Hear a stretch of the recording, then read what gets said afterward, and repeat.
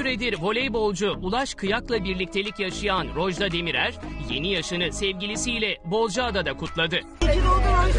Söyleyin. İyi ki doğdun. Paylaşılan pasta kesme videosunda Rojda Demirer'le Ulaş Kıyak'ın romantik anları dikkat çekti.